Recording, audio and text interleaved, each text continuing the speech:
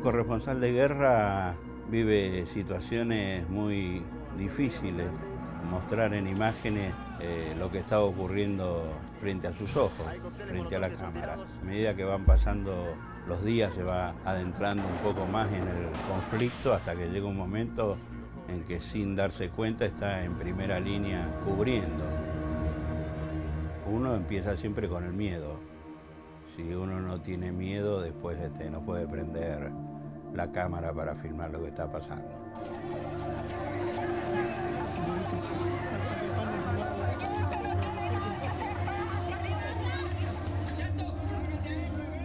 Llevar al espectador este, en las espaldas de uno para que vea lo que está pasando. Recién se da cuenta de dónde se metió cuando chequea el material. Eh, hay olor a pólvora, olor a sangre. En Centroamérica era la guerra de otro. Si quieren venir, que vengan, les presentaremos batalla. Malvinas eh, era la guerra de uno.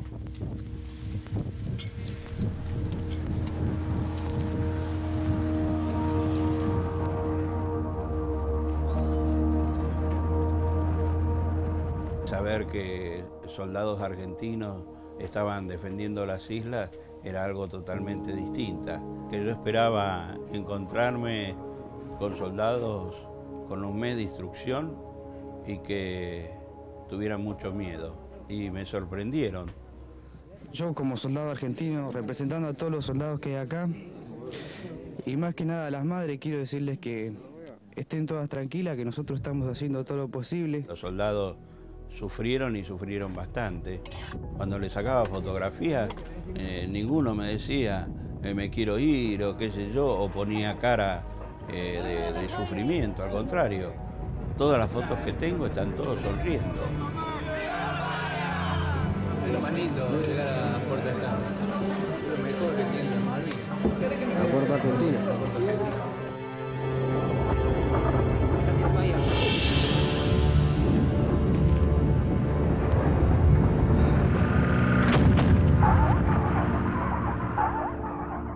Aprendimos, junto con los soldados, que la bomba que silbaba no nos pegaba. La bomba que no silbaba era la bomba que venía directo hacia nosotros.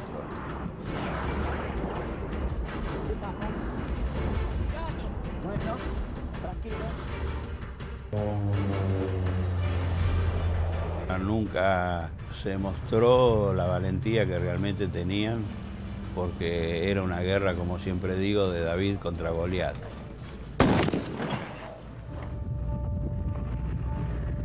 Cuando nos dicen el 13 de junio que nos tenemos que ir porque los ingleses ya estaban del otro lado de los montes, le mando un telegrama a mi jefe y les digo, dejo la cámara, tomo un fusil y mi jefe me contesta, no sea tarado, siga filmando, que es el único camarógrafo que quedó.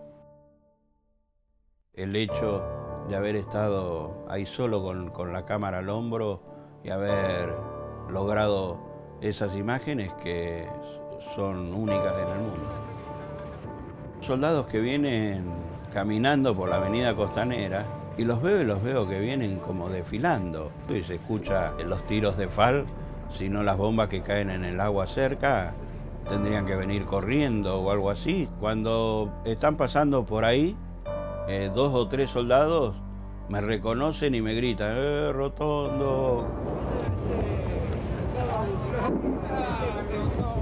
Me salió de, de adentro el gritar. ¡Viva la patria, carajo! Y ellos me respondieron. En Malvinas no quedaron solamente 649 muertos, quedaron 14.000 almas.